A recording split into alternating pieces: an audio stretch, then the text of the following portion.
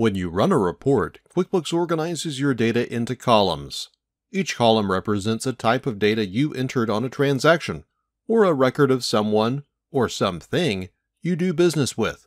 Read the column header to see what kind of information you'll see there. If you'd like a column to be wider, select this line. Hold down the button, drag the line to where you want it to be, and release the button.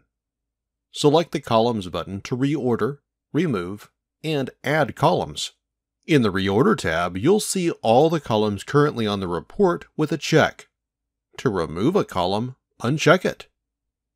You can select and drag columns to reorder them.